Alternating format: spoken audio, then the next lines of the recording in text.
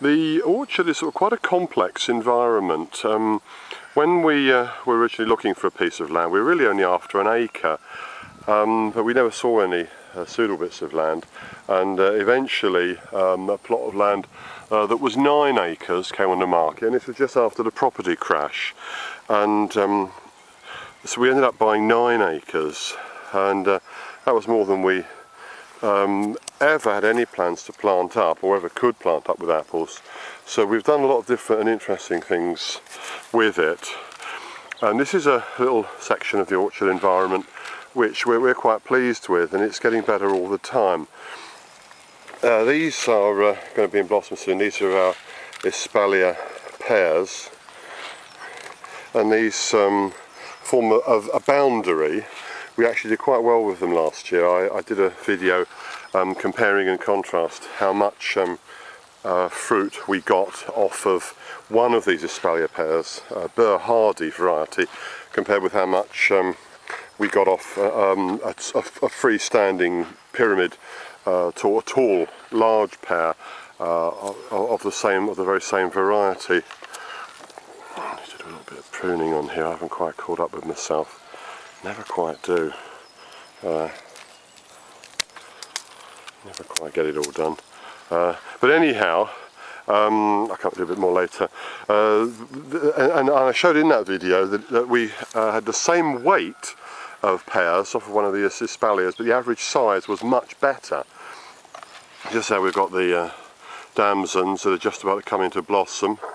A few of them are just out in blossom, and this is the last Saturday of uh, you know old Baden Powell author of Scouting for Boys commended bees as an example uh, for us to emulate in terms of their behaviour. But anyway, um, yeah, so this is um, this is actually producing a this does produce a serious amount of fruit, but it's mainly um, for beauty. You can see that it's in a a line, a very linear space there, no more than a foot wide um, but it's actually a visual barrier. That was a thing of beauty. It's a visual barrier between the um, uh, the orchard, the, the, the, orchard, this particular section of the orchard where we've got a few plums here. Behind me we've got a, a few plums. We're having some problems with plums I'll talk about later maybe. Um, and here is our vegetable area. And as is widely known throughout the world, it's the women that do most of the real agricultural work. And here's Julia um, uh, sprinkling some pelleted chicken manure I think. Right, yes. Oh, aren't you afraid of getting your hands dirty, your delicate little hands? I will wash them afterwards. this is um, poultry manure and it's been dried, yeah. heat treated, so there's no pathogens in it. Yeah. Um, it's a bit smelly. Yeah. I'm putting it as a top dressing on the overwintered vegetables. Overwintered vegetables? Because mm. I know there are. Yeah, there's a few people out there who, who are getting into growing vegetables. Um, you know, uh, we discussed the whole question of survivalism and stuff, and there's a lot of people out there who are preparing their weapons to uh, keep themselves and their families alive after what's described as the SHTF and the WROL. Um, but of course, uh, regardless of uh, what's going to happen with those terrible events, if and when, whatever, um, we will still have to feed ourselves, won't we, after the uh, factory farms are no longer able to de depend on um, vast amounts of oil and then we can no longer import our food cheaply from overseas. And overwintering vegetables, of course, are really great because um, I mean, John Seymour, I mentioned his one wonderful book, John and Sally Seymour, their book, um, Practical Self-Sufficiency. They're always very keen on seeing if you can find ways of getting two crops out of the ground in a year. So these are broad beans, and these went in to the, uh, into the, when were they planted? November. November. And when will they be harvested?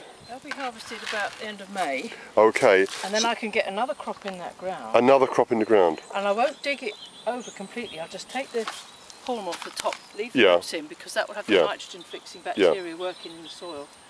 And then I can put in something like um, a later crop of new potatoes. Yeah. Or leeks or something. Well, you like could put potatoes in sort of in the end of May, beginning of June, and hope yeah, to get a crop that year. Yeah, if you put in some later, some, some new potatoes later, then you get some more new potatoes later on in the year.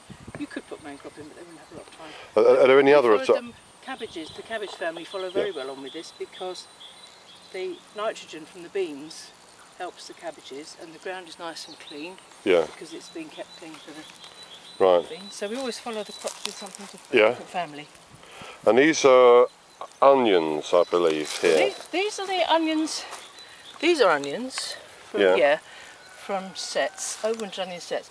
These Yeah. punchy ones are the overwinter shallots. Which is a new variety are like a group of, it's like a kind of onion, but they, uh, um, so these are shallots, those are onions. Those ones are overwintered onions from seed.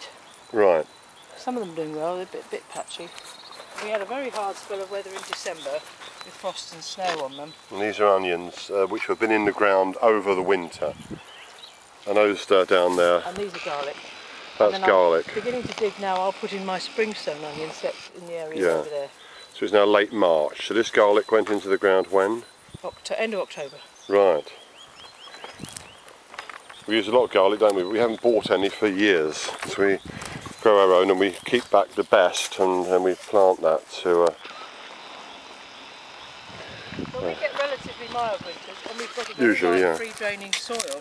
I mean, Yeah. friends of ours living nearby with the same climate can't grow overwinter vegetables because they're growing on clay. Yeah. So it's waterlogged all winter and everything rots off.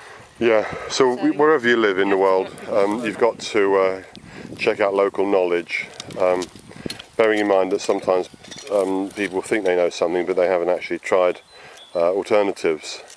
Um, but we, so we're hoping with some of this ground to get two crops out of it. I mean, these, this garlic, for example, this will be raised midsummer, and what we'll try and get is maybe get some French dwarf French Well, beans in I after this. In the in the onion area, as Yeah. I harvest the early shallots and the garlic, Yeah, I then sow rows of carrots because the Yeah. carrots and onions are quite good together. yeah, Um, and carrots will do for quite a late sow, and then you can still be eating your carrots now Yeah. from those late sowings. Well, of course, we've done marvellously well with carrots, haven't we?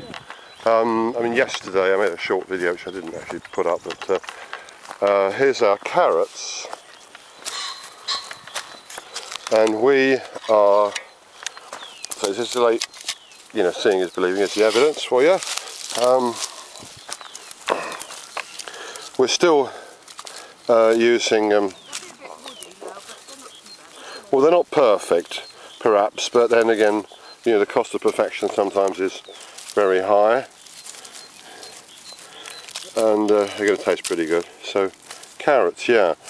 Um, so we've had carrots in the ground over winter. So just a, again, a short little sort of video here looking at um, um, overwintering. I know you know, this, this uh, channel really mainly is about uh, growing fruit, uh, but it all it's all um, one in the end and uh, carrots we've found to be a particularly useful thing uh, leeks again these are an onion tribe sort of thing and these can stay in the ground over the winter so yeah so this is our vegetable patch and um, uh, it's got the added benefit of having the uh, having a row of espalier pears which form a visual uh, demarcation.